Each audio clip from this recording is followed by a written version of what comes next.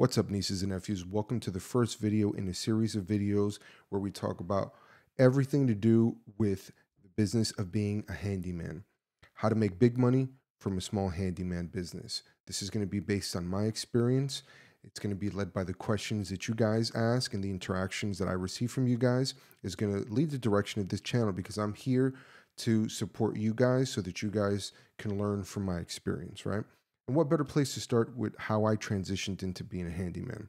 So let's go back to what I was doing before I was a handyman.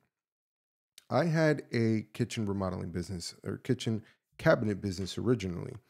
And the way that that functioned is there was a business with a store and, and you know, uh, kitchen mock-ups and stuff like that and customers would come in and the plan was that I would do the do the sales and the installations and eventually I would get people to do the installations and I would just take care of sales and running the business. Well, what ended up happening was that customers would come in and, hey, do you do floors? Do you do painting? So on and so forth. Turns out that customers want somebody that can take care of everything rather than six or 10 people just to save a few dollars doing everything uh, separately, right? So I started to venture into the remodeling business as well completely. So whether that was uh, flooring, paint, uh, carpentry, uh, framing, pretty much anything and everything to do with remodeling, I did. The funny thing about that is during that time, if I was doing a remodel at a customer's house, while we were outside working, I would have neighbors come and say, Hey, my faucet's not working correctly. Could you fix that? Um, my shower is uh, dripping, right? There's a, a little bit of a drip when I close the handle. My garbage disposal isn't working. My toilet, blah, blah, blah. Is that something that you can help me with? And I would always turn those things down and I would say, you know what, that's not really what I do. Excuse me. In my mind, that was too small for me. So eventually, you know, the business kept going and we started noticing that we really didn't need a storefront because the customers would simply just come in to make an appointment to view the cabinet samples or the flooring samples or whatever in their space, which is the best way to go about it because you don't really know how something's going to look until you have it in your space with your lighting and your decor, etc. So that went on for a while and then uh, eventually i realized that you know the cabinet business is saturated and we'll talk about whether that really matters or not um, because my thought process then based on my experience now is way different right? So but the point was we weren't making what we were expecting to make and because the business always led to the customer's home the first step was to close down the actual physical brick and mortar business because we didn't have any use for it. Customers really wouldn't go there. We would always just go to the customer's house. Lead down a couple of years of remodeling and trying to run your own crew and all that kind of stuff and the headaches and that's basically your your babysitting. Um, I decided that I no longer wanted to be in sales because my thought process was how many times am I going to remodel your kitchen? How many times am I going to install tile flooring in your house? Right? Those kinds of things to me equated to I always have to be chasing a new customer. I didn't want to do that. I didn't want to always be chasing a new customer.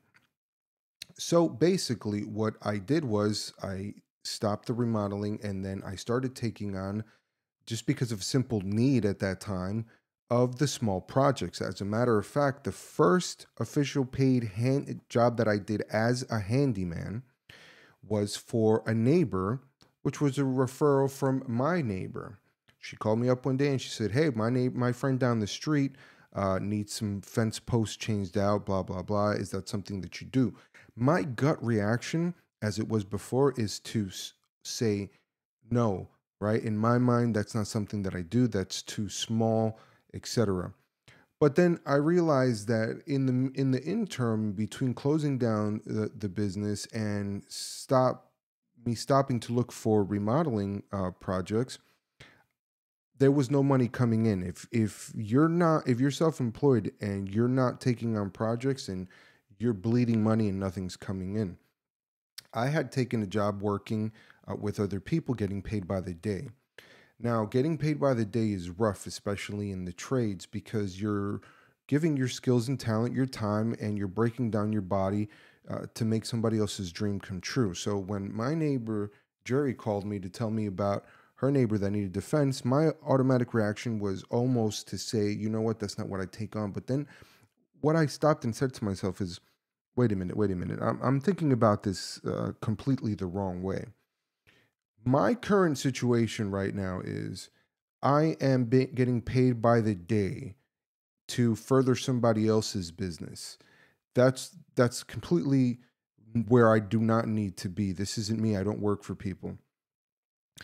If I can at least from that referral that's just down the street make what I get paid in a day or if not more and in less hours with less you know breakdown of my body, let's give this a shot.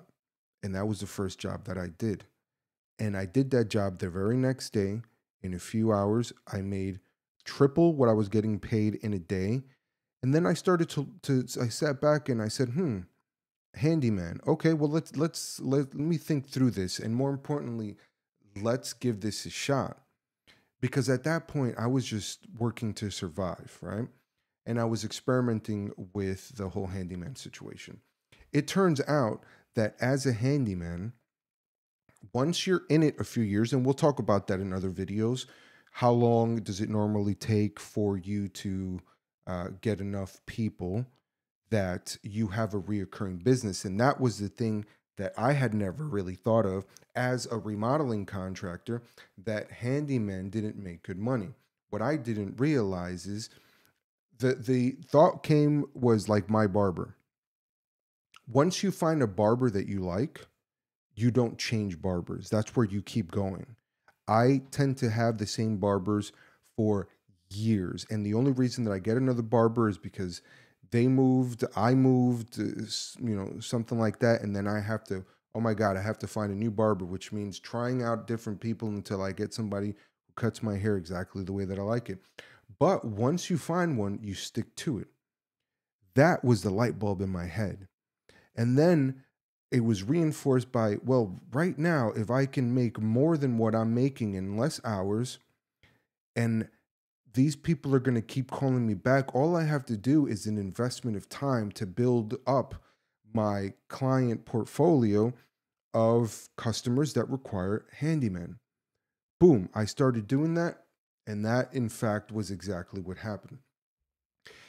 You get reoccurring calls from the same customer you work less hours in the day. The stress and the responsibility of projects are at the most a few days. If that's what you choose to do, because you can always choose not to work or not to take projects that are very long. The wear and tear on my body is less. And again, more than anything, was people keep calling you. People keep calling you and I don't have to keep chasing new customers. I mean, you do and you don't, and we'll talk about again. We'll talk about the fluctuations that happen because you really do have stages in your business where you outgrow certain customers uh, as you start to expand into a new customer base, right? And we'll talk about those kinds of things. But that was my epiphany. That's where I started as a handyman. I had all the tools, I had all the skills, and to be quite honest with you, as a remodeling contractor, uh, doing handyman work, it, it was pretty easy, especially the mental load and the mental responsibility of doing those kinds of projects was so much of a mental relief that um, I was just like, you know what, I'm I, am i am on the right track here. I'm going to keep going. So that that's my journey as to how I started uh, in the handyman business, right? So this channel is going to be completely led in the direction by you guys. I do have ideas about what I'm going to do in the video series about step by step about you know the next one is going to be is the market too saturated? So take a look at that video right? Um, should you become a handyman uh, choosing your clients uh, pricing where to find uh, clients etc but this is also going to be led by the questions that you guys ask. I'm going to respond to every single comment that you guys leave and I'm here for you. I'm here to quote unquote mentor you guys directly from the uh, comments that you guys make, and that's going to lead the direction in the videos that I make, in the direction of the channels. So use me as a resource, guys. You know, I hope this was helpful, and um, I hope that you learn, and I hope that we establish a great relationship, guys. And I'll see you on the next one.